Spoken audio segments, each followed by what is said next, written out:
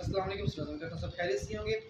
जैसा कि आप लोग जानते हैं कि कल पाँच तारीख को सेकेंड का रिज़ल्ट आने वाला था, लेकिन रिज़ल्ट आपका फिर तखीर का शिकार हो चुका है और इस वक्त फेडरल बोर्ड में मैट्रिक का जो रिज़ल्ट है वो अनाउंस हो चुका है। लेकिन पंजाब गवर्नमेंट अभी भी पंजाब बोर्ड की तरफ़ से जो सेकेंड ईयर का रिज़ल्ट है, उसके बारे में जो प्रॉपर अनाउंसमेंट अभी तक नहीं हो पा रही है। फाइव डेट सुनने में आ रही थी।